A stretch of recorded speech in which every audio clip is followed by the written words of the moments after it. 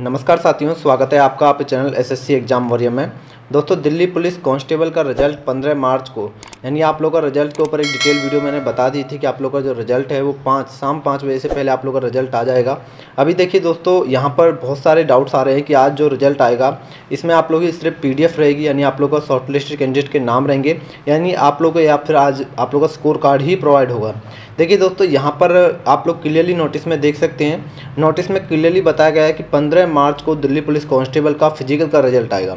यानी फ़िज़िकल का रिज़ल्ट आएगा, इसका मतलब इसमें पीडीएफ भी रहेगी, जिसमें आप लोग कैंडिडेट से शॉर्ट लिस्टेड हैं। यानी आप अपनी कट ऑफ़ देख सकते हैं कि कट ऑफ़ कितना गई है जनरल के लिए ओबीसी के लिए ई के लिए फ़िज़िकल के लिए। और इसके बाद आप लोग ये भी चेक कर पाएँगे कि आप लोग का नॉर्मलाइज स्कोर कितना है रॉ मार्क्स कितने थे। पर्टिकुलरली आप लोग चेक कर पाएँगे। यहाँ पर जो आप लोग का रिज़ल्ट है, वो आप लोग का कॉलम्स में भी डिवाइड है। जैसे आप लोग को रीजनिंग में कितने मार्क्स मिले हैं मैथ में कितने मिले हैं, इसके बाद आप लोग का कंप्यूटर साइंस में कितने मार्क्स मिले क्योंकि इस बार आप लोग का कंप्यूटर साइंस सब्जेक्ट भी अलग से पोर्सन दिया था दिल्ली पुलिस के अंदर। पिछली बार नहीं था, इस बार आप लोग का कंप्यूटर साइंस का अलग से पोर्सन है। इसके बाद आप लोग का जो है जी में कितने मार्क्स मिले हैं, और इसके बाद आप लोग का टोटल मार्क्स रहेंगे। आफ्टर दैट आप लोग को नॉर्मलाइज मार्क्स रहेंगे।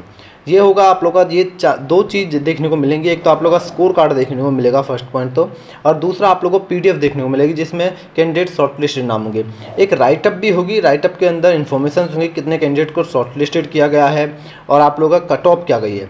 तो कट ऑफ़ देखने के लिए आप लोगों को राइटअप की पीडीएफ डाउनलोड करनी पड़ेगी, और अपने नाम चेक करने के लिए आप लोगों को पीडीएफ डाउनलोड पड़े, करनी पड़ेगी शॉर्ट लिस्टेड कैंडिडेट की, जिसमें मेल और फीमेल की दो शॉर्ट लिस्टेड कैंडिडेट की पीडीएफ रहेंगी, क्योंकि यहाँ पर फीमेल और मेल के लिए अलग अलग कट ऑफ़ बनती है। तो वैकेंसीज भी अलग हैं तो इसलिए कट ऑफ़ भी अलग बनती है।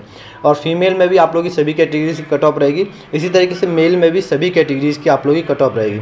तो ये थी डिटेल वीडियो बताने के लिए कि आप, आज आप लोग दिल्ली पुलिस कांस्टेबल के अंदर पीडीएफ जारी होगी, या फिर आप लोगों का स्कोर कार्ड जारी होगा। दोस्तों, इसके अंदर आज पंद्रह मार्च को दोनों आप लोग को देखने को मिलेगा।